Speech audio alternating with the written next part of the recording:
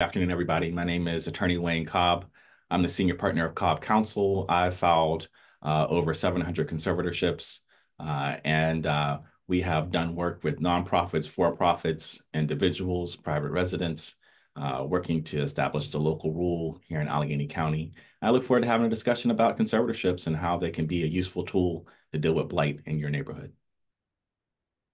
So I want to start out by saying that today's webinar, we're going to dig into the basics of Act 135 with the goal of helping you understand how you can use that tool. Um, there have been many policy discussions around Act 135 and possible amendments to the law, but for today's webinar, we're going to talk about using the law as it currently exists to address blighted properties. So I want to share some data that um, Judge Butchart in Philadelphia shared uh, last week during the bench bar conference in Philadelphia. Judge Butchart handles all of the Act 135 cases in Philadelphia. She said that in Philadelphia, they've had 656 conservatorship petitions since, since 2016. There's 134 pending petitions, and 8% are less than 18 months old. They're generally resolved in two years. So in Philadelphia, there is abundant use of the tool in comparison to other counties. Wayne, how about what are you seeing in Allegheny County? Well, I think that Allegheny County uh, is starting to use the tool much more. It took us a while um, after COVID to uh, kind of navigate the court system. There are there have been over six judges assigned to deal with uh, conservatorship cases, um, and so it's being used now. I think by uh, a lot of folks who are trying to figure out ways to deal with problems in their neighborhoods. Whereas I think when it was first started, it was kind of used by one or two parties um, or one or two nonprofits, I should say, who were really trying to figure out, does it really work?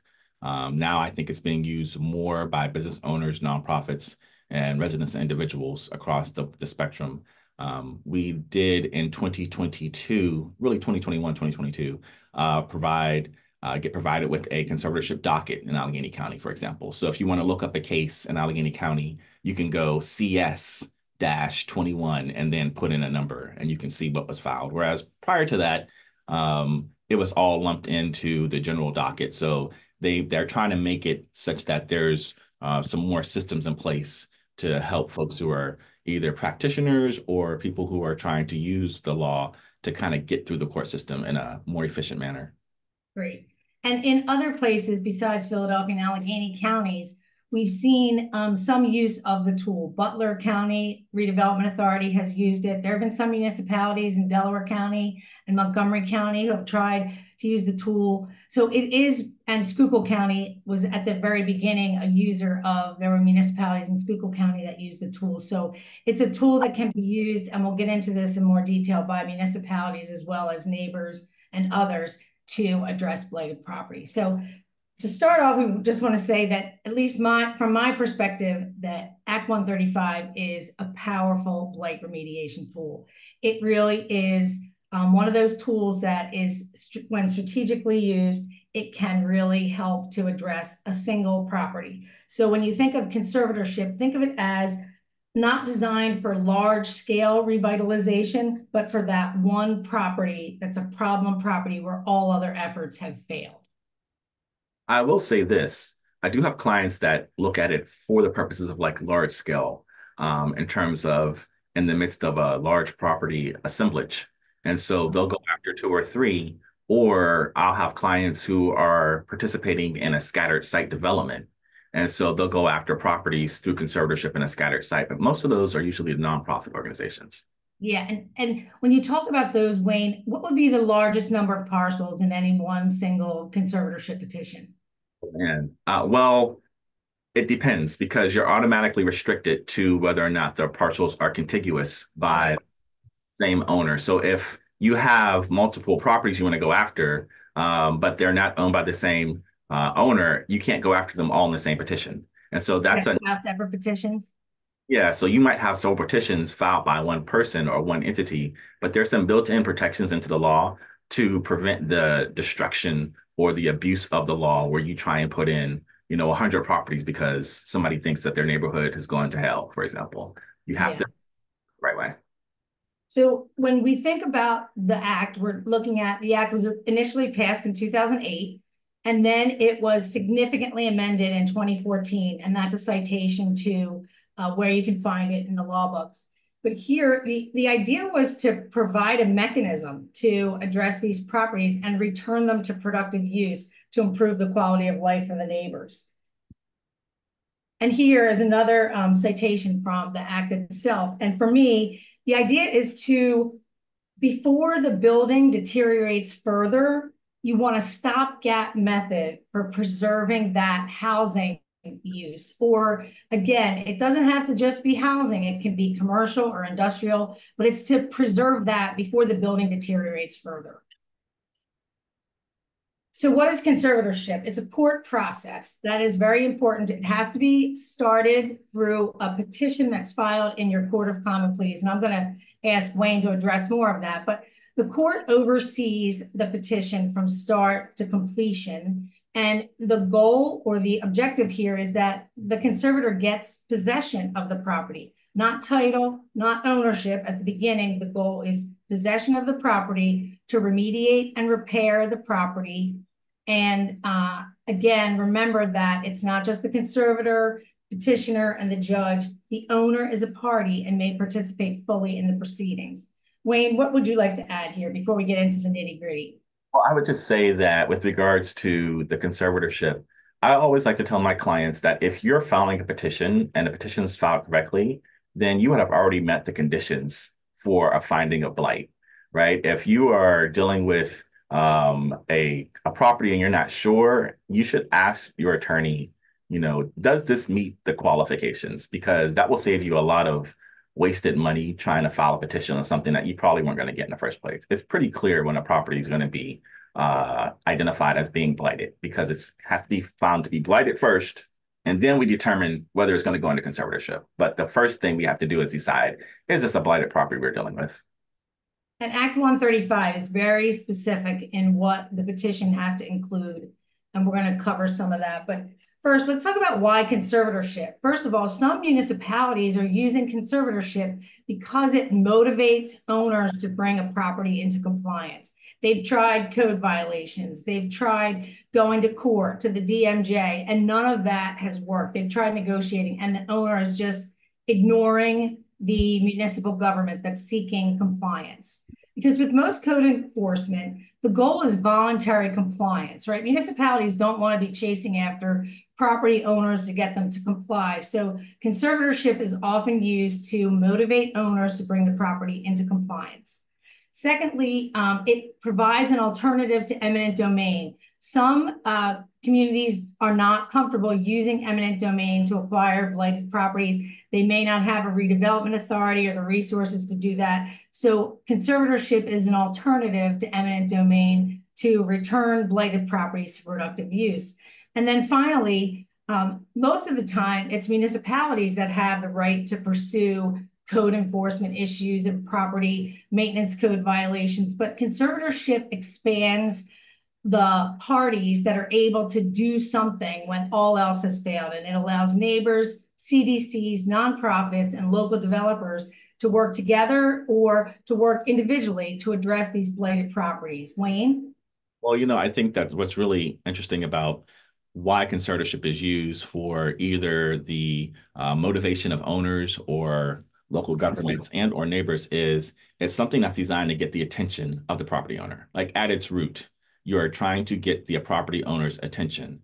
And I think that when you have uh, neighbors and CDCs or nonprofits and for-profits working together trying to address a community plan, most neighborhoods that have an active CDC that's really trying to do its job. You guys have a neighborhood plan, right? Or a regional plan. You really want to figure out what's the best way to try and get this property under control. And in Pennsylvania, if you have someone who's passed away, unless there's been an estate that's been established, you really can't transfer that property outside of a uh, tax sale or you know some kind of foreclosure with a mortgage. But we've seen a lot of uh, we like to call them zombie properties, where the bank has foreclosed and nobody's going to do anything because they don't want to pay the taxes on it, so they're just sitting there decaying. So you know, conservatorship is a good tool to deal with that. Great. So when we start talking about the details of conservatorship, keep in mind these five categories to consider as we go through the discussion. One, you have the petitioner who's going to file the petition in court. You have the subject property, you have the owner of the subject property, you have a conservator if one is appointed, and then you have the court overseeing all of these parties and entities as they pursue um, this petition. So as we get started, let's talk about first the petitioner. Under the statute, the petitioner has to be defined within the realm of an interested party. So it's the lien holders, anybody who is owed any money um, on this property or holds any liens on the property, secured creditor of the owner is uh, an interested party. Resident or business owner within 200 navigable feet, a nonprofit corporation, including a redevelopment authority, they have to be located in the municipality where the building's located. In Philly, the nonprofit or RDA must have also participated in a project within a five mile radius of the building.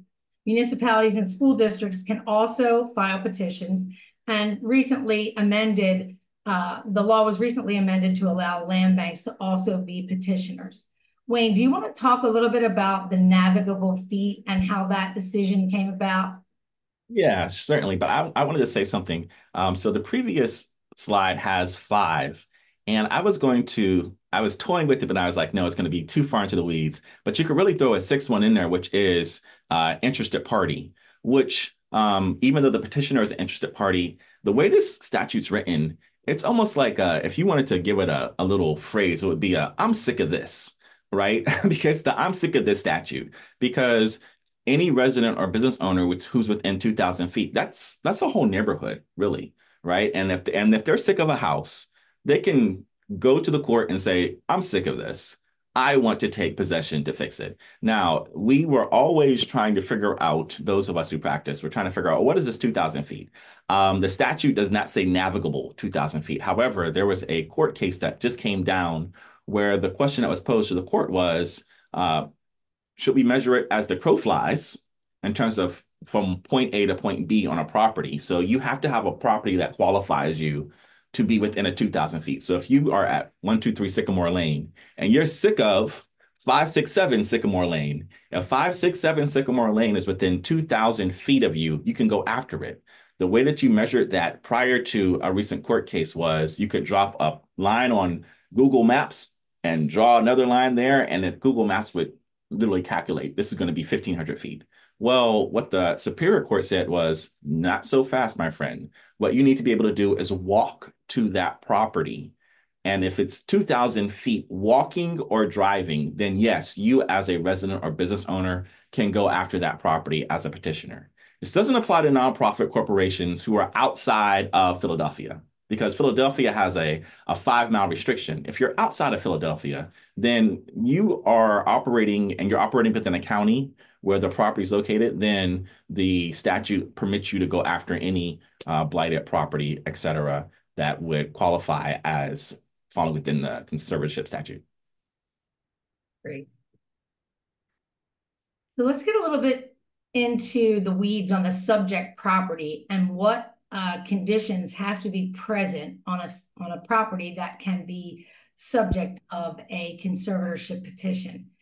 Again, keep in mind the property can be residential, commercial, industrial, or a vacant lot. It's a vacant lot, a structure must have been formerly on the property. So Wayne, do you want to talk a little bit about property eligibility and what's required to be shown in the petition in order to get to the next stage, which would be a hearing? Well, I think that the barriers are very, very, very low, right? So uh, first and foremost, um, just like beauty is in the eye of the beholder, blight is in the eye of the seer. Okay, it's not difficult to identify what is blighted and what's not blighted. However, these first four um, are really, really, really important, right? So if you are dealing with a property that's been legally occupied prior to 12 months prior to you filing a petition, you can't go after that property, right? And so that means, and I think the statute inherently um, has this piece in there that says that the person who's going after the property has been monitoring it. They're a part of the community. They know what's going on. If you haven't been monitoring that property for the previous 12 months, then you can't really testify or attest to the fact that it hasn't been legally occupied for the previous 12 months. And I've had several cases where we've had to be able, we've been able to defend and intervene and defend against speculators who were going after properties, but we were able to prove that it was legally occupied within 12 months. Um, the 60 day marketing, that's the same thing where you have people who are monitoring the MLS website, monitoring publicly available uh, websites to see is this house for sold for sale. If it's not been monitored, you can't really tell that. Um, and, and that the foreclosure is no pending foreclosure actions. And so we've had litigation as to what a pending foreclosure means.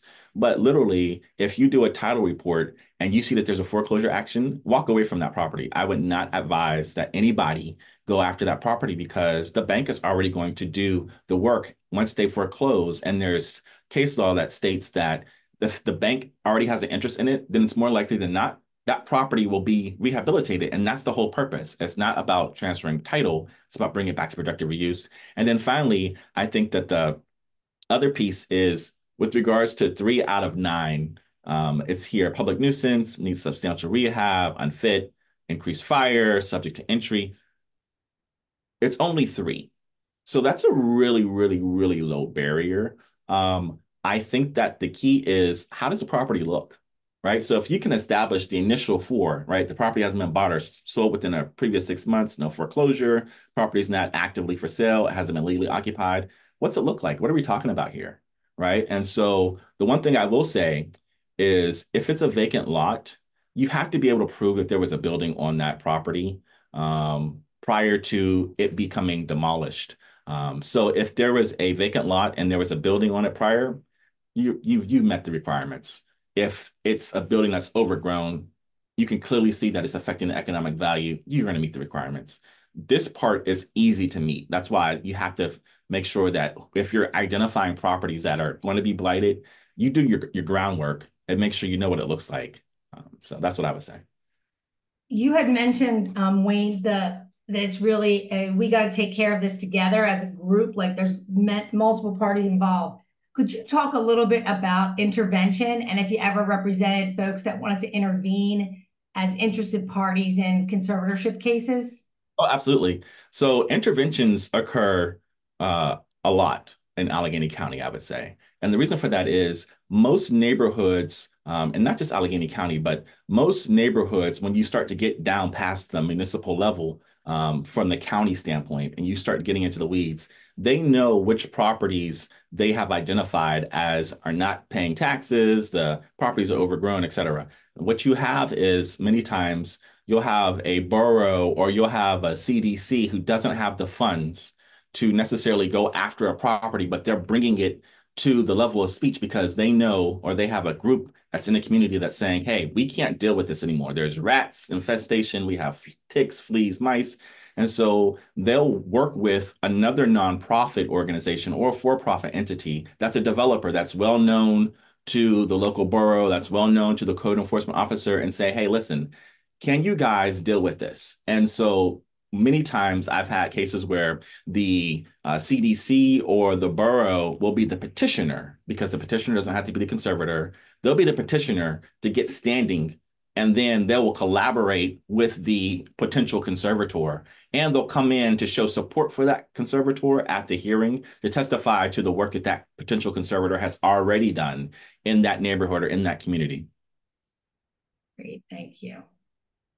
Okay, so um, one of the big questions that we talked about when we were preparing for this is like, what's necessary to create a successful conservatorship? That's like, like, what do you see as the real basic uh, needs for creating that successful conservatorship. You talked about what the property looks like. So your petition would include, I would guess, photographs and other evidence of, of what the property looks like. What else is in that packet that's going to kick off your conservatorship petition?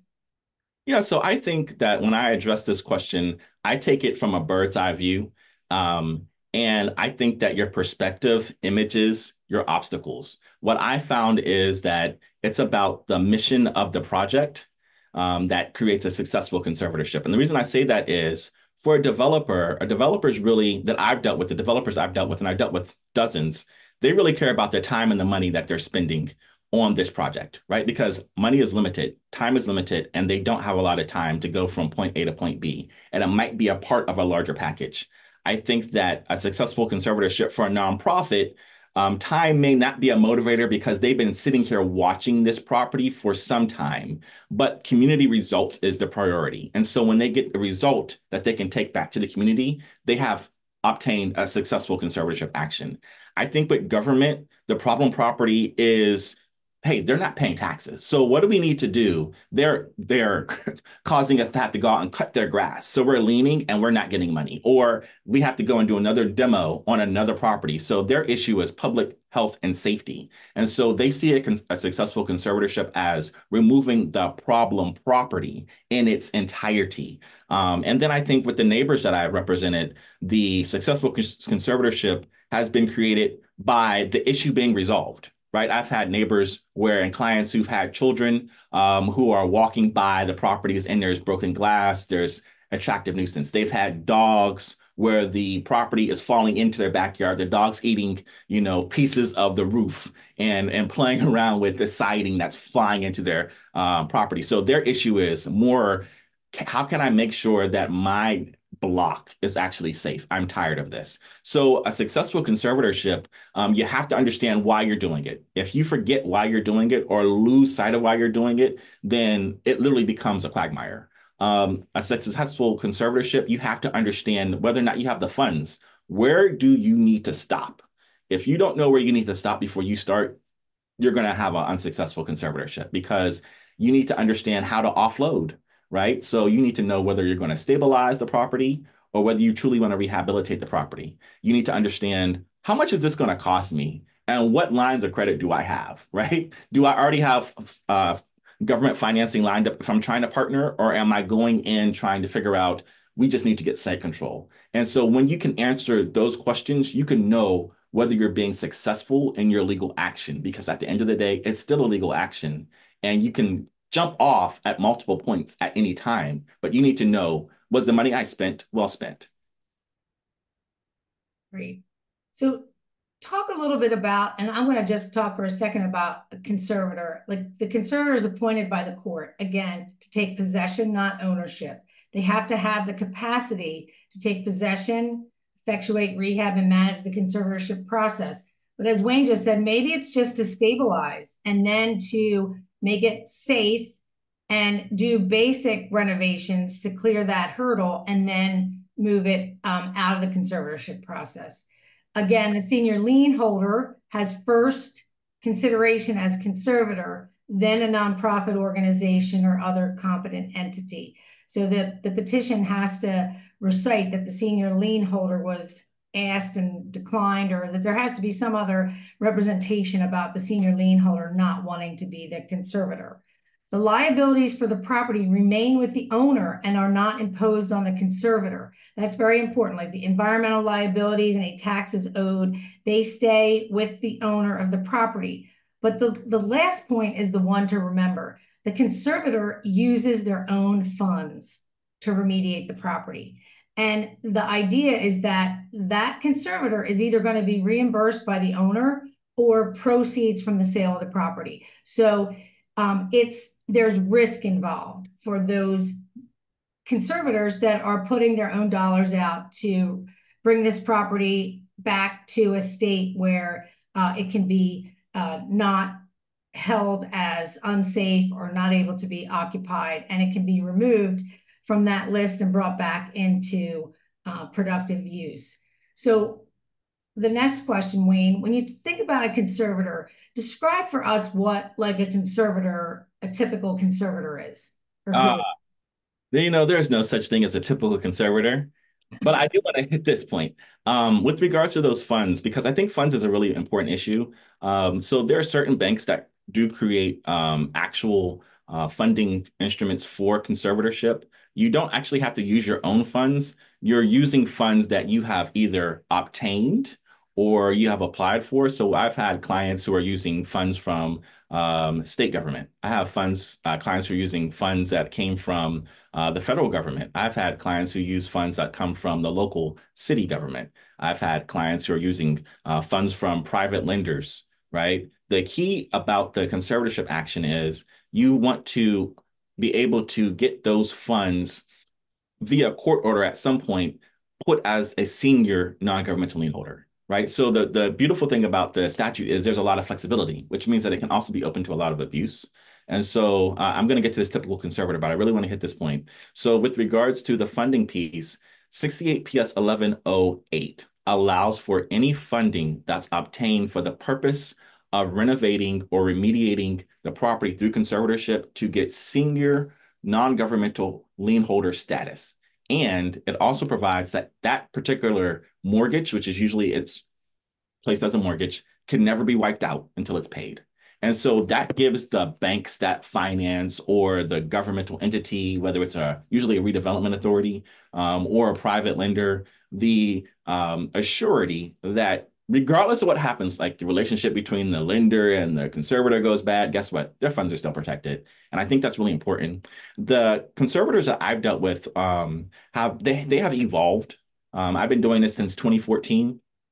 And it started with uh, Pittsburgh Community Reinvestment Group, uh, who was actually working with neighbors in the local neighborhood of Sheridan, which is a neighborhood in the city of Pittsburgh. And they were doing all the covering for the fees, but they were trying to figure out who needs the help. So it went from just neighbors to nonprofits who were trying to bundle properties in order to get um, large properties and areas covered for uh, federal grants. And they had to deal with specific properties that they, they had made deals with the owners. And when they ran the title report, it turned out the owner hadn't been honest. Um, it then started to deal with local uh, business owners who were in real estate. And the way that they, when they looked at the map, they saw that, you know what, I actually have large plots of land that I own that's almost I'm responsible for the corridors, but then there's nothing for my um, clients, which would have been their tenants, to use for green space. So they were taking space properties that were blighted and tearing them down and making them green space community gardens, dog parks, um, and trying to create amenities. I then saw that it started to develop into people who were for profit, who were tired of fighting at city treasurer cells right? And so they were like, hey, let's go after this. But they all had, you know, dozens of properties in their neighborhoods. We then saw that the typical conservator kind of evolved into the neighbor who was trying to protect their value and their investment. And that really started to happen around uh, uh, COVID, actually, when people were staying at home and they were, I guess they were just looking out and were like, wait a minute, what's going on with my neighborhood? So I don't know what the correlation there is, but um, and then I think that right now um, the typical conservator includes all those, but we also see that we have local government which is working with uh, nonprofits where they identify a certain nonprofit. At least out here in Allegheny County, uh, they'll say, "Hey, listen." This particular nonprofit, I'm almost certifying it because they've worked with us and we want them to be the entity that deals with blighted properties in this area. And the reason that they do that is because they have the ability to, I think, exert soft control where they trust the developer, they trust the developments that they've done. They know they're not trying to take advantage of the neighborhood. They know they're going to be a good taxpayer because they've been paying taxes, and they know that that particular developer has skin in the game. So I think it's it's evolved in that manner. So great. So let's talk a little bit about the court's role in conservatorship. Again, it's a court process. You have to file a petition that meets the requirements stated in Act 135. The court reviews the petition and issues an order to show cause, and there's a hearing scheduled. Under the statute, it says the hearings to be held within 60 days. You'll hear about um, the delays and the fact that 60 days isn't always the timeline because of, of delays with service all owners, lien holders, and others have to receive notice. And then again, the statute provides that a decision needs to be issued within 30 days of the hearing. Um, the court reviews and considers um, the final plan for the property. It also will review any applications to sell the property. And then finally, the court will approve the sale of the property and then the final accounting and any distribution of proceeds. Um, Wayne, when you're in court, what what did, what are the judges looking for, and what role have you seen judges play in um, Allegheny County with respect to these petitions? Yeah, so and I've I've been in counties outside Allegheny County as well, and I will say that every judge hews very closely to the statute. I think that I that it depends on um, the judge's understanding of how to interpret statutes sometimes. And the only reason I say that is because um, once you get in a court, you will most likely um, have the ability to uh, be successful. Um, and again, it goes to what success is. But you, I have judges who will uh, really want to know: is there a way to settle this? Right? Go outside before we start a hearing. Let's figure out if there's a way to settle this. But that's usually when there's an owner involved, right? If there's no owner involved, the big key for judges, which I really appreciate, is them making sure that we did our job to provide proper service. And that's really important because if you want to sell the property or if the property is sold out of conservatorship, you want to be able to get title insurance and you can't get title insurance if you can't prove service, right? And so um, we've we've had to really, I think that's the greatest uh, gray area for petitioners, um, not understanding what alternative service means. Uh, I think that conservatorship stack the statute itself for us really starts at alternative service. So it's a double layer of alternative service. And that literally just means that it's not served by a, a sheriff outside of Philly, right? So it's not served by a sheriff, it's served by certified mail, right? So that's that's unusual in and of itself.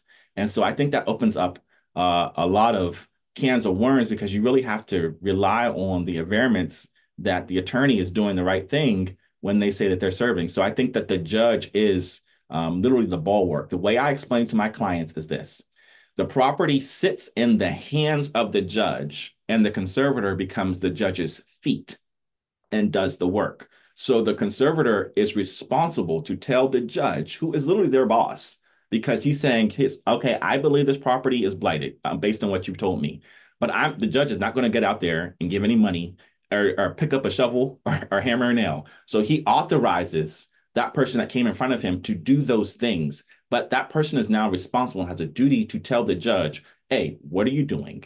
And how are you getting it done? And with what funds are you getting it done? And I'll say this the statute's really, really flexible because at the hearing for conservatorship, you can actually bundle in your final plan.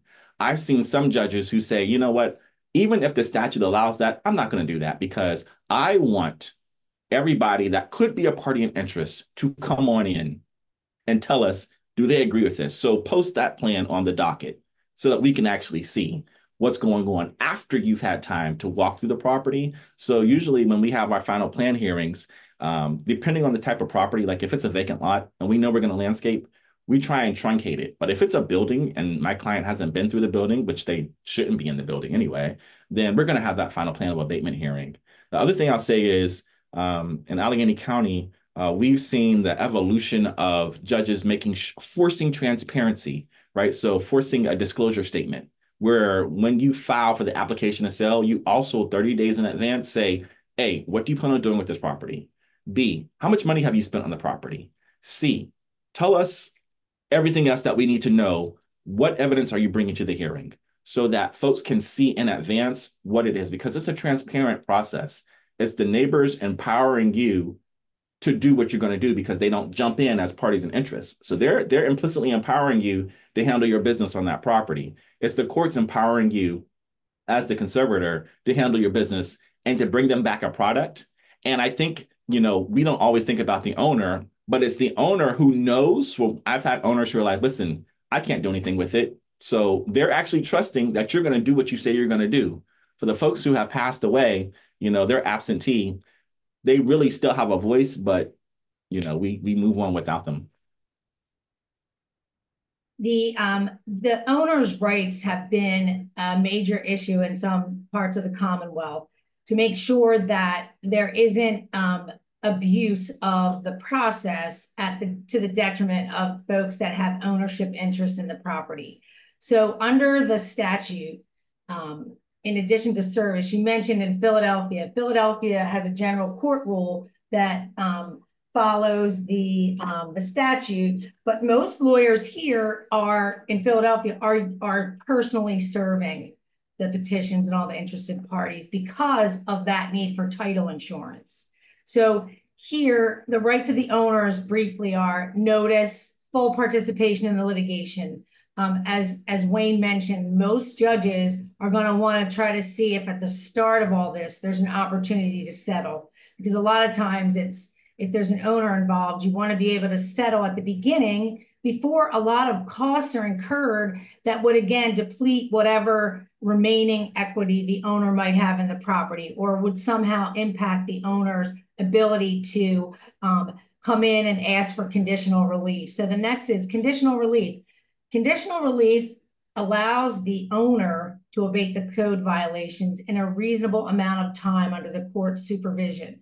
So an owner can come to the hearing and say, I want conditional relief, and the court can come up with uh, an order that will allow for that that provides for, again, the court's supervision of the owner's uh, fixing up of the property or addressing issues that are outstanding.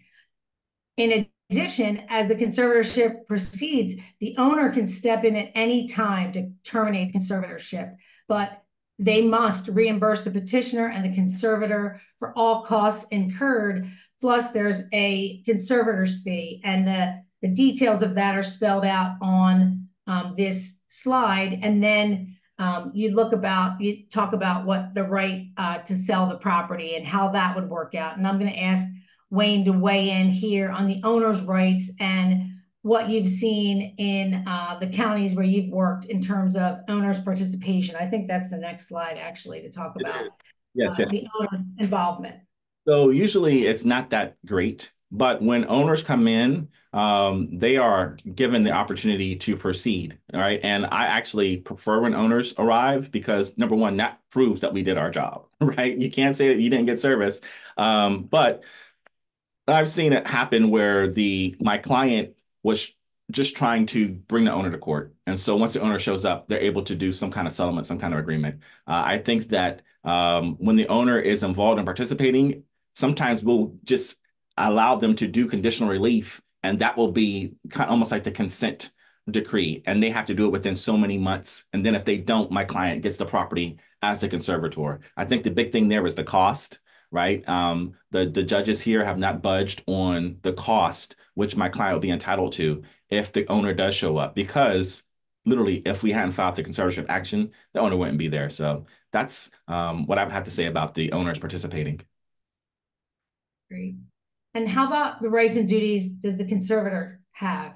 They have the right to possess, they don't own or have hold title or take on the liabilities. They can borrow money. As Wayne mentioned, you can seek senior lien holder status that allows your bank or lender or other party that puts money into the property to feel some um, some uh, risk aversion there. Um, they have to maintain, safeguard, and insure the building. They have to report to the court regularly. And at the end, there has to be a full accounting of all the income and expenditures. They have to implement the final plan and then um, if selling the building is the the end result, they have to uh, you know manage that process as well. What can the conservator do? Um, the conservator needs to stabilize, rehabilitate, or demolish the property. They can obtain financing, obtain insurance, and enter into contracts, and then they can petition to sell the property. Um, talk a little bit about the sale of properties or how how you've handled um, the the the final. Uh, actually, let me back up for a second and, and ask you to talk a little bit more about the due diligence and what's involved with getting building your case and being prepared to demonstrate to the court that you're eligible and should be have this conservator appointed.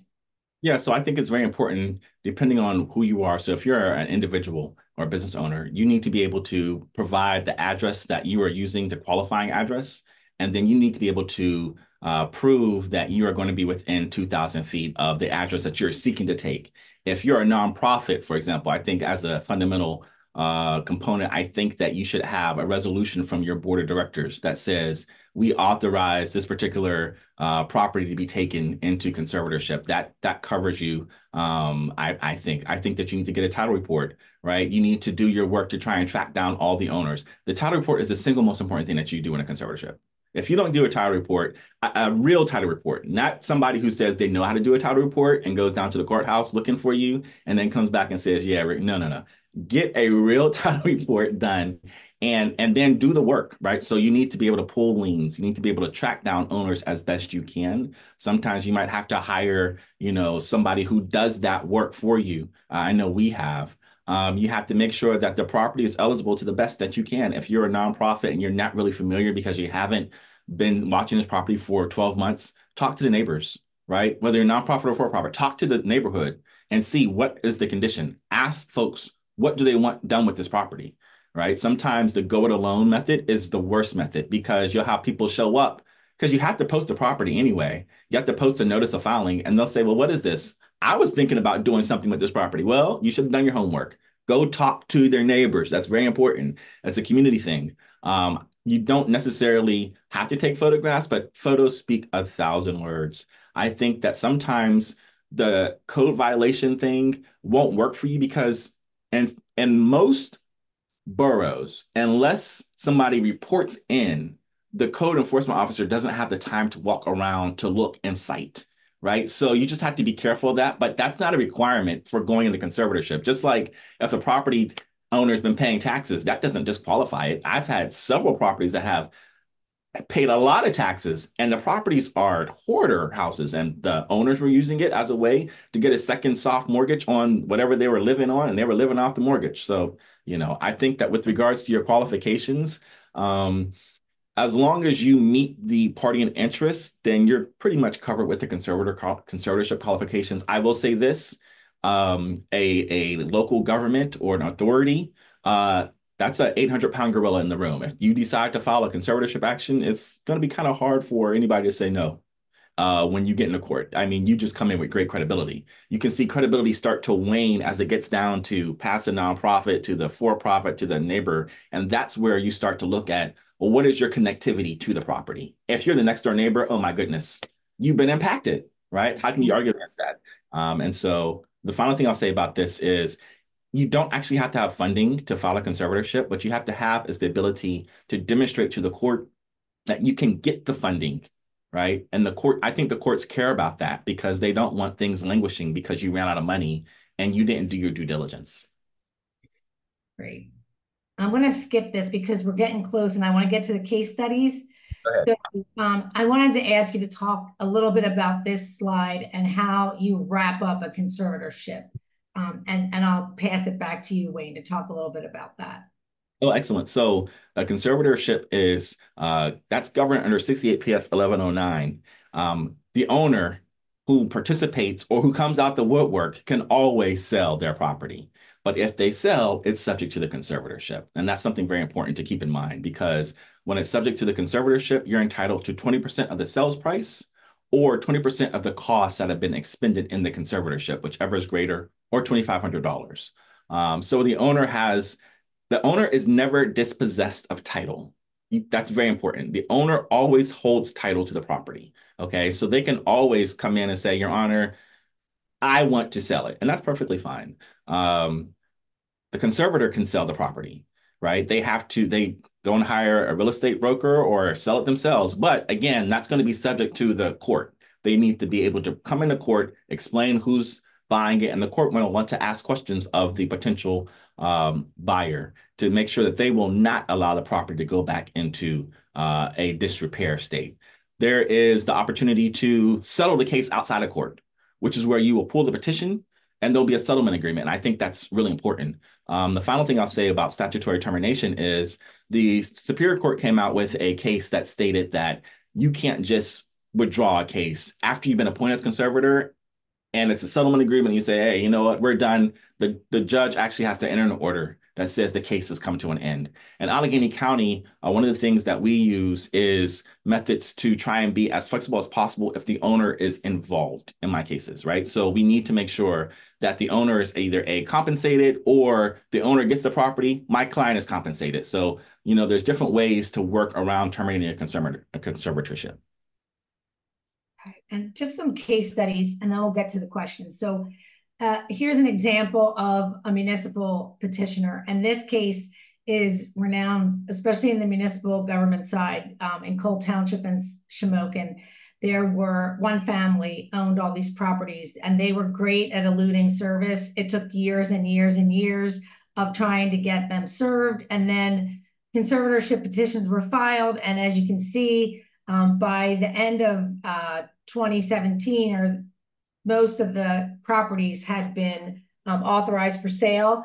Um, at a recent um, gathering, the uh, redevelopment authority or the housing authority director there spoke of this case and said that there was still one property that was still in the court under the court supervision, but all the others, most of the others have been sold to neighbors as side yards, which is common where a municipality um, leads the conservatorship petition and the property needs to be demolished. It's usually then sold as a side yard. This next one is another great example from the city of Bethlehem. It's the Goodman Theater. This petition was filed in October 2016 and the conservatorship was granted. There was an unresponsive owner with a long history of violations.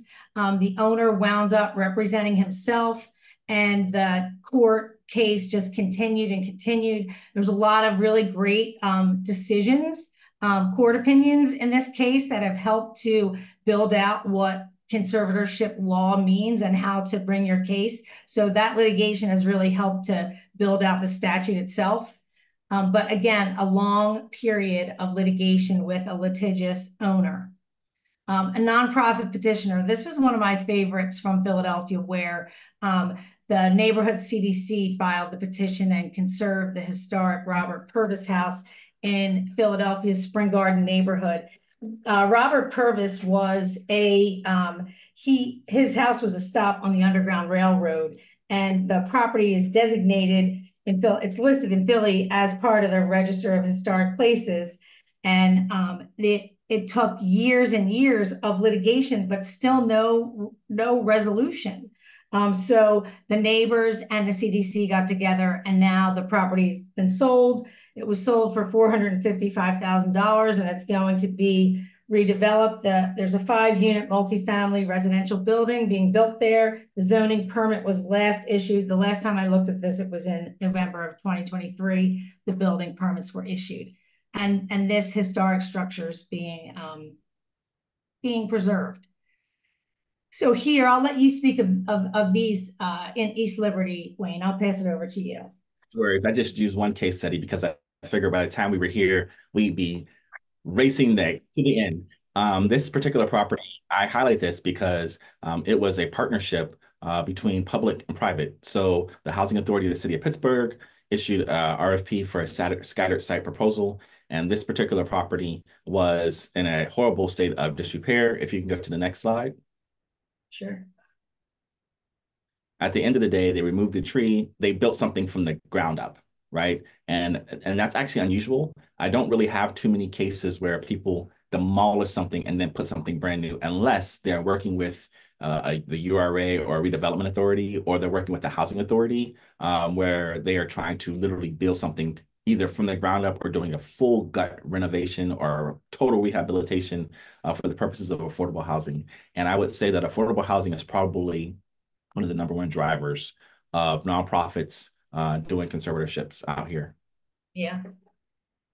So here for for me, and, and these really reflect my thinking on conservatorship and what makes it an effective tool. It's flexible and relatively inexpensive to use. I'll, I'll use those terms.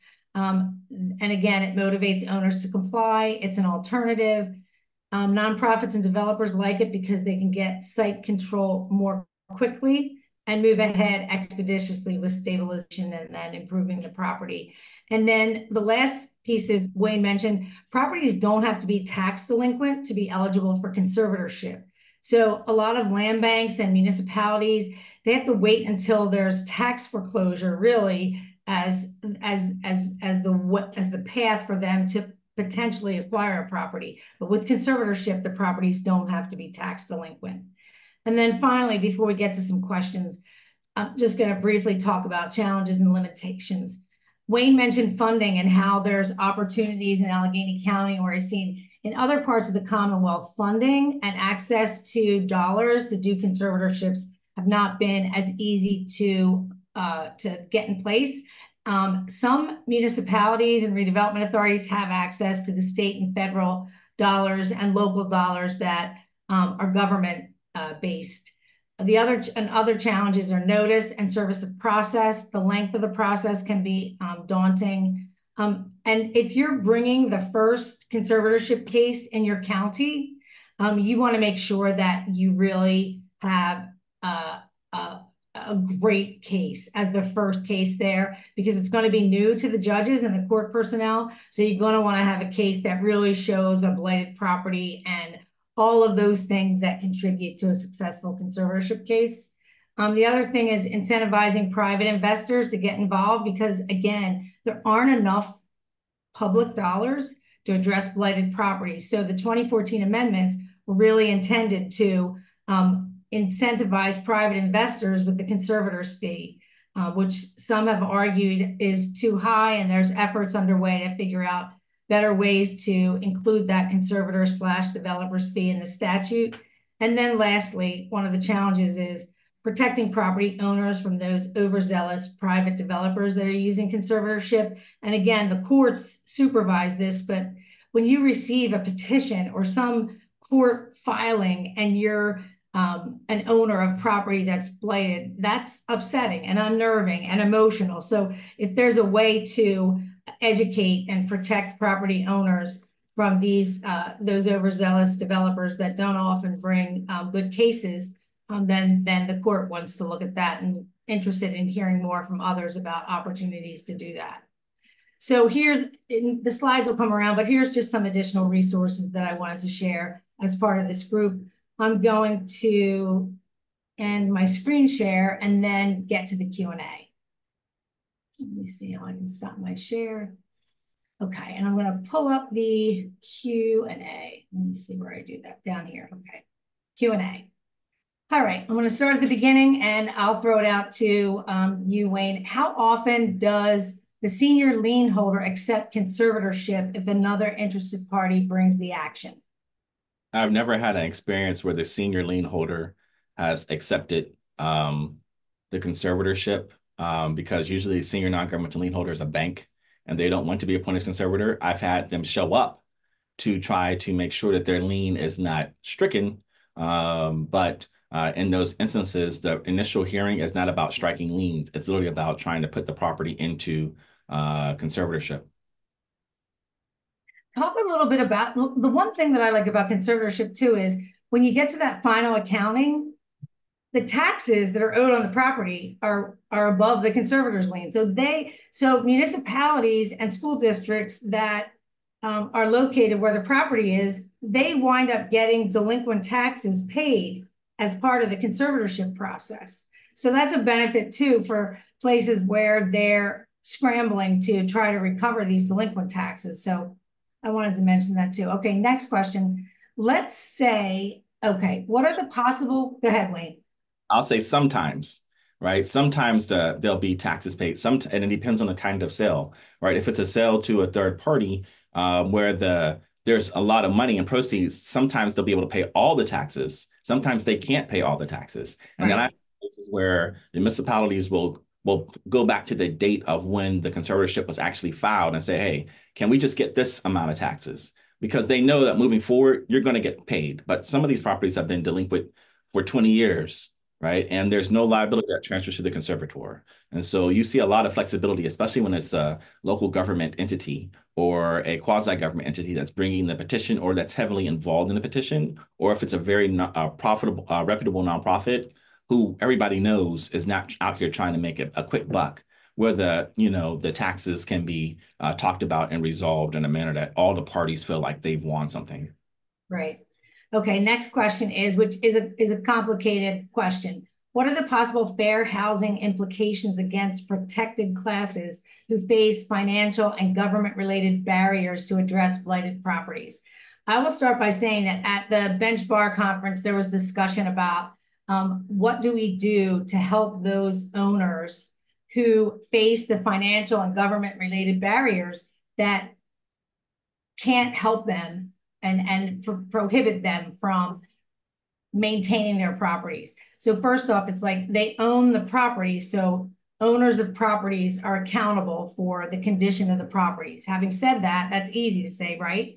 But there is a, um, there are barriers, there are economic barriers, there are financial barriers. So what resources are out there to help owners who have blighted properties be able to uh, address those blighting conditions? One problem is that the property is not their, their home, right? So they're not living there. So many of the programs that are available uh, for homeowner repairs are limited to the where they live. So this um, property that's subject to conservatorship perhaps is an asset. So they can't access the legal services for folks that don't have any assets or have limited assets, but they still don't have money available to pay for rehabbing these properties. So my answer is I don't know um, what there is out there, but I would really support looking into statewide opportunities, funding to help owners of blighted property subject to conservatorship be able to fund some of the work and, and keep some of their equity. Wayne? I would say that the most important uh, resource is telling that owner to show up to court right? Um, that's number one. The second thing I would say is, you know, an owner can always sell the property. Um, and I mean, we're, we're really talking about folks who have left those houses, or we're talking about the heirs of the owner.